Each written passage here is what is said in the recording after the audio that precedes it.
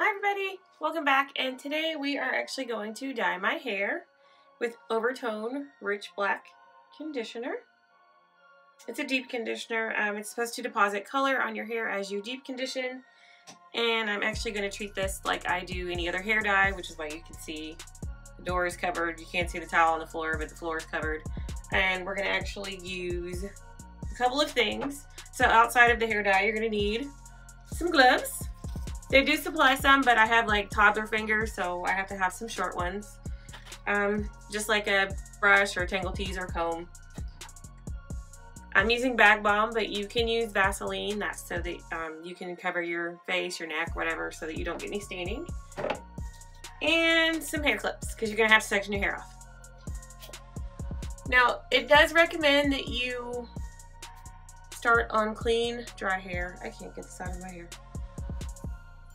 So I did shampoo and condition my hair last night and I just put it in these loose twists overnight to let it air dry. Um, I've been active all day so of course it's like super dry now. I've got one more left. And this is what my Japanese straightened hair looks like air dried. Even I don't know what it looks like. Why don't we take a look? Oh, that's actually not bad. That's not bad at all. It's sort of messy cute. I might wear it this way one day. I don't know, maybe not. But anyway, I'm starting out with, um, like this is my natural color up here at the very top at the roots. And then the parts that you see, they're like sort of reddish right here. That's where I had box dyed all of this super black. And when I went to get my last treatment done before this one, it had a very bad reaction. Um, if you don't know the story, just look at my my um, playlist and look for the one that's about Japanese hair straightening and box dyes not being BFFs. Anyway, um, I did manage to pull the color out with honey. So this is how I'm left. Sirens are going off. And hopefully we're going to cover all this nonsense today. Okay, so real quick before I go, I do want to show you guys what the product looks like. I did get this like a couple months ago. Um, the whole Japanese hair straightening last appointment had to be rescheduled. So I've already opened it. The box does come with its own set of gloves. I did already crack it. Hopefully I don't make too much of a big mess with that. Let's just trash that. But this is what Overtone looks like. It's very thick. It's, it's not gonna really drip or go anywhere and it smells like toothpaste. It smells like my grandma's toothpaste. That's such a weird smell, but I, I kind of I kind of dig it. Okay, but anyway, we're gonna get started.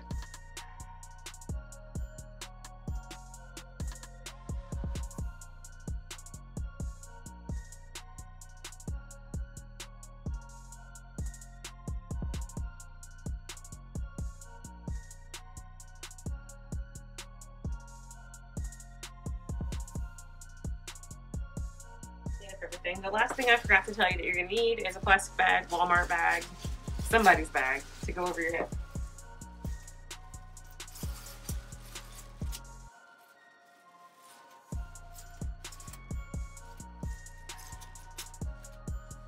And now I'm just gonna let it process. It's supposed to process for, I think, 20 to 30 minutes. I'll probably leave it on a little bit longer because I do want to get my bathroom and try and get my messy self cleaned up. Um, again, the product is actually not messy. I'm just messy when I apply stuff. So, all right, everybody. So we're back in, and I just um, I left the color in for about the conditioner for about an hour and 10 minutes, enough time to just do what else I needed to do. So this is what it looks like without um, really anything in it. And it's not dry, it's still damp. I actually like it. It's pretty dark. So I'm gonna go ahead and put in what I put in to blow dry. Palmer's coconut, can't read it, leave-in conditioner. Just a little bit of that. Somewhere there's top.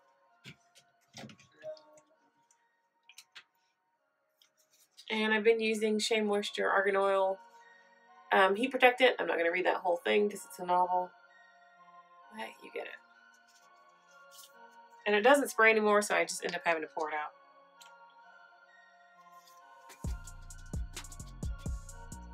And actually, I think that's about all she wrote. Um, that's gonna have to do it today. And then I normally just go ahead and put my hair milk smoothie, my Palmer's coconut oil, in the same mixture.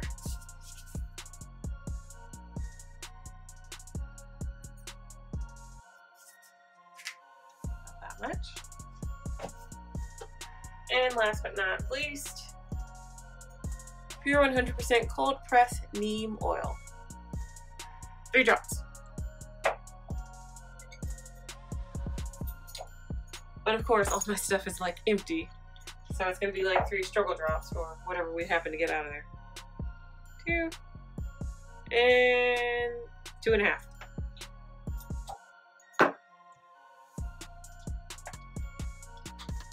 Just mix that all together and distribute through your hair.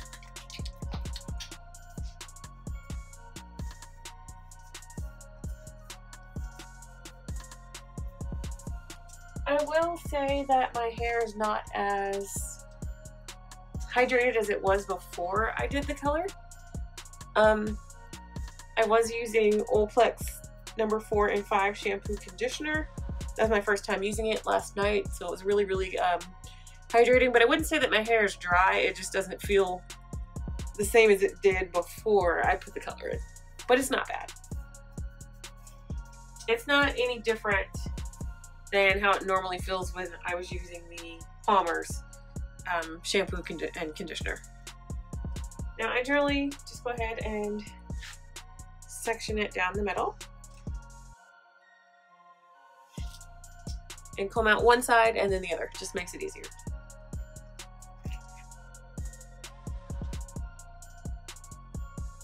Okay, so my hair is blow dried, but I just want to show you guys um, even when you rinse and you rinse and you rinse and you rinse and your water rinse is clear, you still may not have rinsed just enough. I am a little bit purpley, but eh, it'll wash off.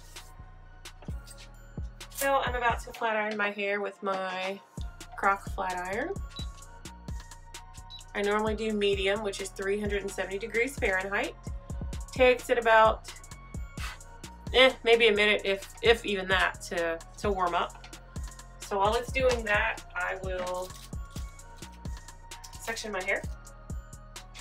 And the same four sections that I used before.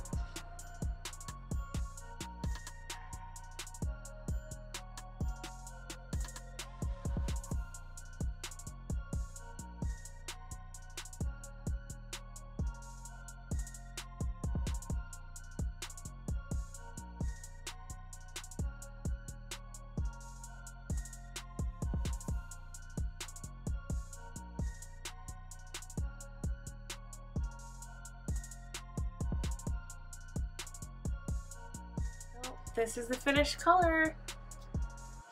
What do we think?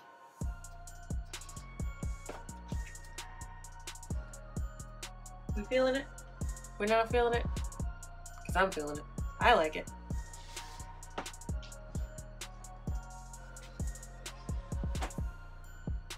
It's so pretty. I can't wait to go outside and look at it and I can't wait to see what it looks like in the morning after I've slept on it and it's been wrapped up.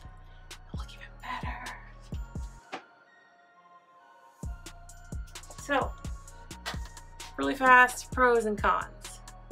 Cons. It stained my sink and my shower. And with a mixture of vinegar and Dawn dish soap, I was able, in a, a, green scrub pad, I was able to get most of the color out of the tub.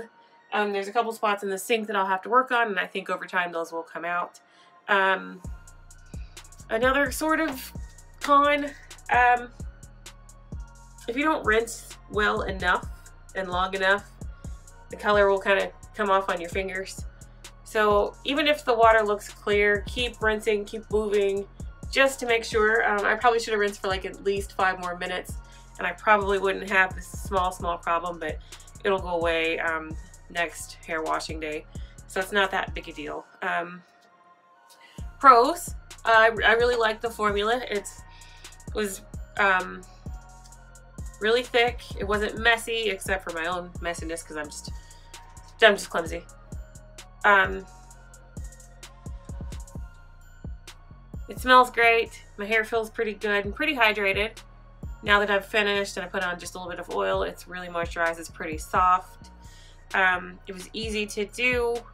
And honestly, it didn't cost that much. Um, I'd have to price check it again, but it's been a couple months since I've ordered it, but it was at least around 20 something dollars for 8 ounce uh, jar, which is a pretty good price, so I will be buying more of it to keep up the color. So I'll see in a couple of washes how it's going to fade, how it's going to last, what it's going to look like when I go out in the sun, um, things of that nature. But um, as of right now, this is this is the best hair color, deep conditioner, whatever you want to classify it as that I've ever put into my hair, ever. And I've used a lot of stuff over the years. So, um, it would be nice if they would have out like a, maybe a blue black. Then I would definitely try that out. But as of right now, this one is extremely dark. And that's usually what I go for. So, I like it. So if you guys like this little tutorial, on Overtone Rich Black Deep Conditioner. Please give me a thumbs up and like um, and subscribe, and I will see you guys in the next one. Bye. Hair flip. I don't have a thumbnail.